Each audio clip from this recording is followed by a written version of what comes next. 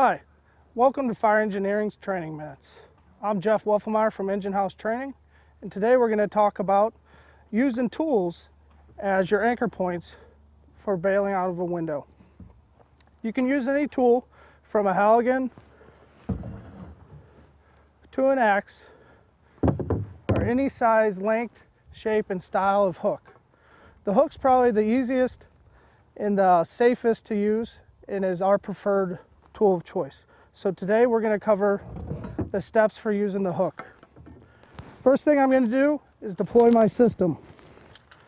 Now there's numerous systems out there with all different types of anchors on them.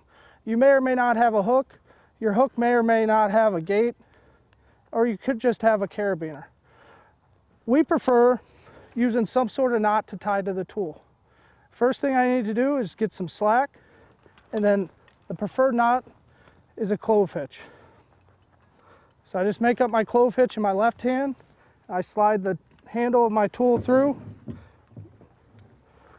Once I get it to the middle of the tool, I tighten down my clove hitch. I hold the tool in my left hand. Once the situation dictates I need to bail out of this window, and I find a window, I'm going to clear the window with my hook, turning that window into as large as opening as possible. While staying low, I'm going to deploy my system, get enough slack to where I could tie my clove hitch around my hook.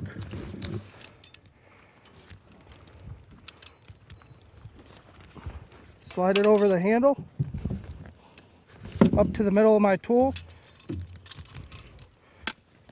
Tension my tool and place my hand and tool in the corner of the window.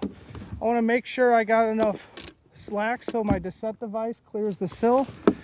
Then I'm going to bail out.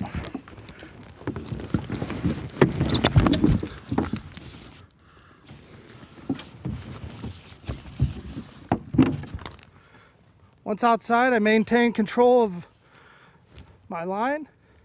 I'm going to squeeze my descent device and lower myself to the ground. Let's take a look at this in real time.